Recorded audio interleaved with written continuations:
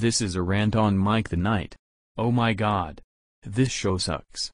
Mike the Knight is the worst kingdom show ever. This show is about a young knight named Mike and he likes to go on an epic worst adventure. Mike the Knight sucks at doing it right and taught violence. And according to Wikipedia, it got cancelled in 2017. And according to Nick Story Jr. Wiki, it took off the air in 2018. Do you know who likes this show? Dickie the Victor the Jason the Go Kids hater. But do you know who hates this show?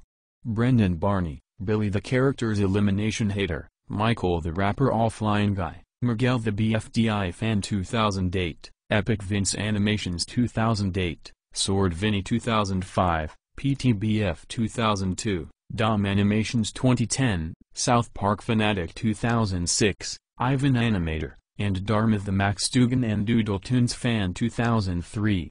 So screw Mike the Knight. And screw Tree Fu Tom. Play with me Sesame is so many times better than Mike the Knight. I will see you in the next video will be very much better. Until then, peace out and end of rant.